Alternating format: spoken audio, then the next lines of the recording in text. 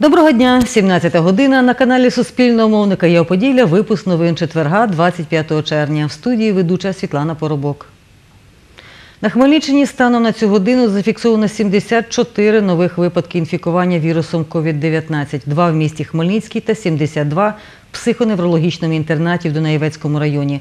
Про це Суспільному розповіла директорка департаменту інформаційної діяльності Інна Михайлова з посиланням на інформацію обласного штабу з ліквідації надзвичайної ситуації. За її словами, від початку пандемії на Хмельниччині офіційно зареєстровано 725 випадків захворювання, 524 особи одужали, 15 людей померли.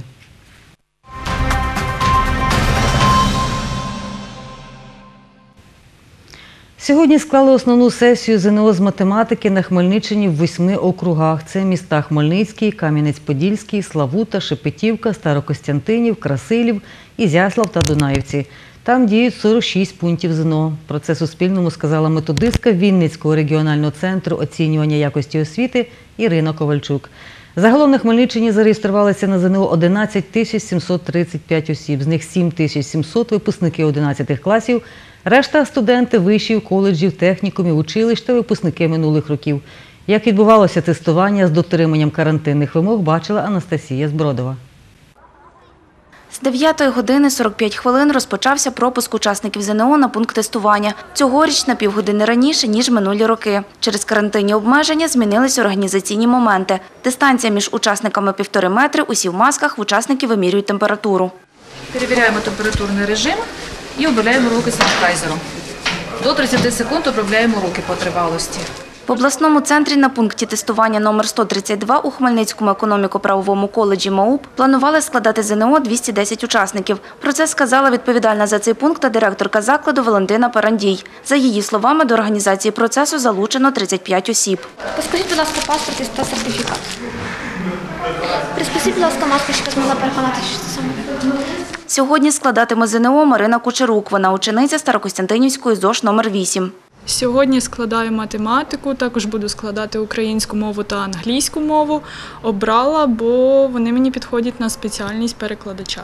Зараз трішки хвилююсь, готувалась до англійської мови роки 2-3, до української та математики трішки менше.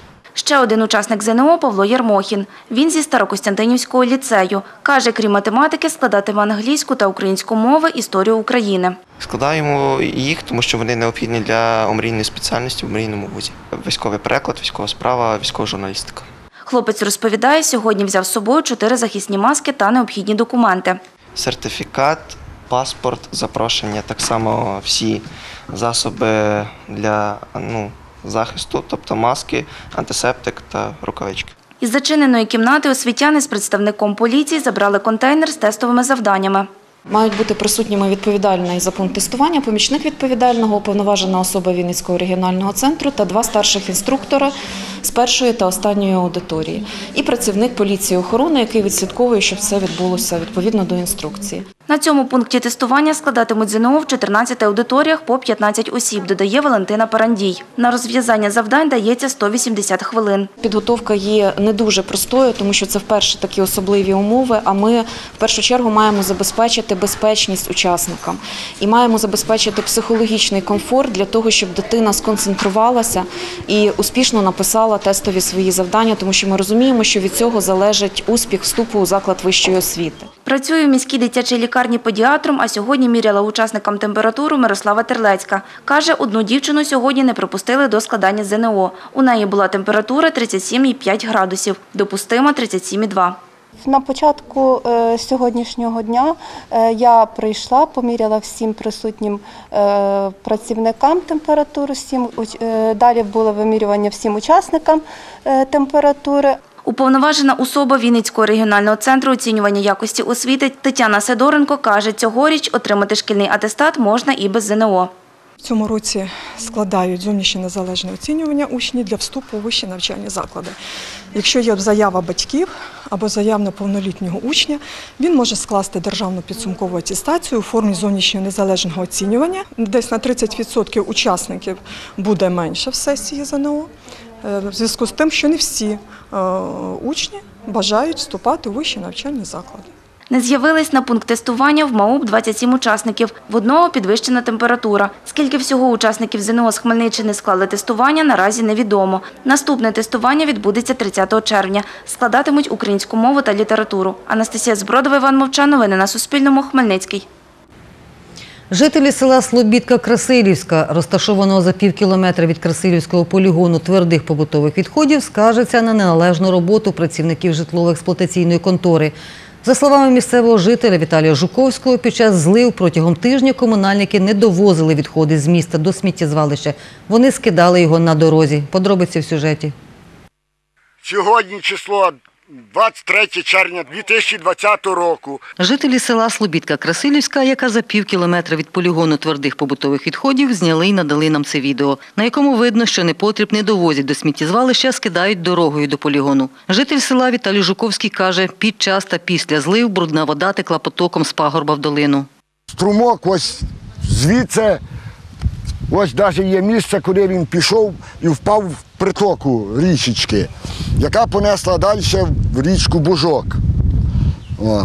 Оце все, що тут було. Чуєте якийсь морід і вважайте, яка ця вода йшла в струмок.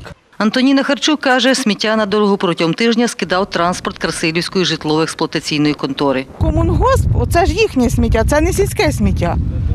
У нас в селі скільки того сміття? В нас так, то перегнило, то закопали. Сміття з села, говорить жінка, вивозять організовано на полігон. Два рази в місяць їздить трактор від сільської ради, ми в мішках скидаємо на прицеп.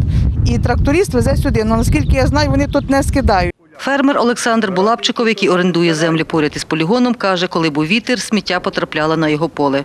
Ці всі телефони йдуть на поля мені. Збирати їх ніхто там не збирає їх, а вони йдуть потім, куди воно все йде. Я їм несу потери, тому що забиває постійно і е, комбайни забиває, і то жатку, то під барабан. Віктор Ліщинський каже, полігон мають облаштувати. Туди далі на полігон, метрів 500 певне є десь до того полігону. Але мусор тут лежить на дорозі. А чого лежить на дорозі, бо не завести його не можуть. А завести не може, бо дороги немає. Стільки років немає дороги, не можуть завести. Олександр Булапчиков додає, Должен бути заїзд. Заїзд підсипаний, щоб машина, людина, яка людина приїхала, сміття привезла, не викидала десь по заборах, а могла заїхати на сміттєзвалище. жителька Слобідки Красилівської, мати чотирьох дітей Оксана Томановська розповідає, сміттєзвалище дошкуляє всім у селі і не тільки зараз. ми перемо вручну. І от коли е, сміттєзвалище горить, повертає дим на наше село. У мене був такий випадок. е, Я пере- перепирала своє прання чотири рази, тому що все, все повністю весь дим, е, весь дим йшов на село, і воно все смердить. Начальник Красилівської ЖЕК Валентин Стрільчук не заперечує, коли зливи залили дорогу, вирішили тимчасово скидати сміття на цій дорозі. За його словами, вчора відходи почали прибирати з дороги, сьогодні продовжують. Привезли такого строїтельного мусору, засипаємо аварійні такі ділянки, щоб техніка вже наша техніка вже заїжджала вчора ввечері вже на площадки, які спеціально відведені для захоронення. Тобто вже не буде ніяких проблем. Цей, це сміття було тимчасово тут розміщене в зв'язку з тим, що техніка не доїжджала. Техніку, яка мала б заїжджати на полігон багнюкою, саме в той період зламалася, каже Валентин Стрільчук. Під час нашого перебування біля сміттєзвалища привезли новий двигун для трактора та почали встановлювати. Начальник ЖЕК обіцяє все впорядкувати. Я думаю, сьогодні-завтра це сміття все забереться для захоронення. Перший заступник Красилівського міського голови Дмитро Склонний розповідає, дорогу мали підсипати цього літа. Вже одну тендерну процедуру провели на придбання е, щебня і підсипкового матеріалу. На жаль, е, жодного учасника е, не було заявлено на цей. Зараз працюємо по системі спрощеної. Ну там на до 200 тисяч ми зможемо придбати. Сподіваюся, що це буде дасть нам змогу на наступному тижню е, привезти, значить, матеріал, яким би можна було укріпити е, під'їзну дорогу. Світлана Поробок, Олександр Горішевський. Новини на Суспільному. Хмельниччина. 13 археологічних знахідок передали науковці до музею в Дунаївцях. Про це розповіла науковий співробітник історико-краєзнавчого музею Дунаєвецької міськради Ірина Куріловська. За її словами, найдавніший виставковий експонат сфероконічна посудина трипільської культури датується 5-4 тисячоліттями до нашої ери. Що віднайшли археологи та що вже експонується у музеї, знає Михайло Жила. На цих двох стендах виставили 13 переданих експонатів. Найдавнішому з них 7 тисяч років. В нашому музеї зберігається 13 предметів, е, знайдених на багатошаровому поселенні Чаньків 1. Е, Це є предмети е, трипільської культури.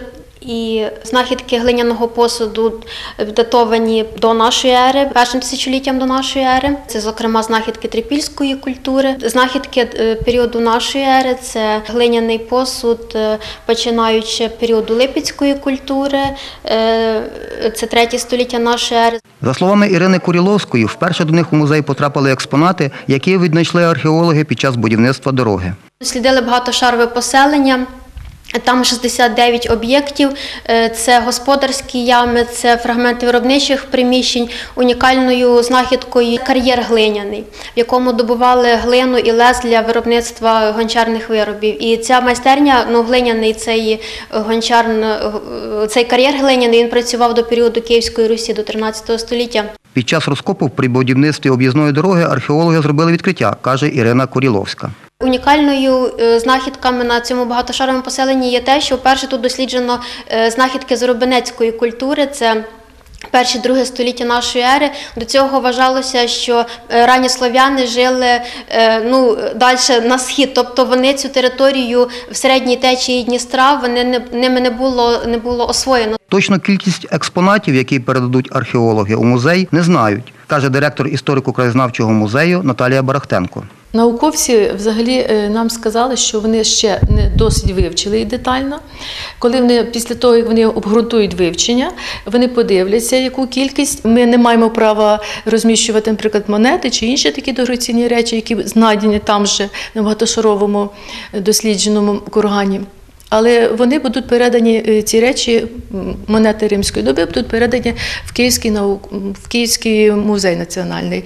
І деякі прикраси е, жіночі, там металеві, нап- наприклад, чи срібні, можливо, ще будуть передані в Меджибірський музей. Наразі історико-краєзнавчий музей Донецької міськради налічує 4363 експонати, каже Наталія Барахтенко. Михайло Жила, Віктор Кривий. Новини на Суспільному. Хмельниччина. Наш випуск на цьому завершено. Зустрінемося на каналі Я Поділля о 19 годині.